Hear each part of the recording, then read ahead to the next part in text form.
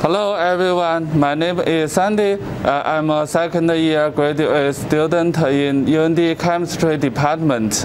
I would like to uh, introduce this modern instrument which is Malvern Zetasizer Nano Series. It is a system based on dynamic light scattering to measure the size of different particles and their potential. Today, um, uh, actually we have a bottle of liquid solution here. Uh, we cannot tell what is this with our naked eyes. However, this instrument can tell us uh, the size of um, the particles and their potential. Today I will show you the, this modern instrument with different cuvettes here.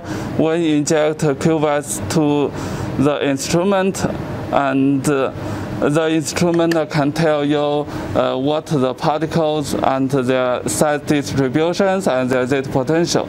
Actually, this modern instrument is uh, user-friendly. Uh, it is widely used in nanotechnology field.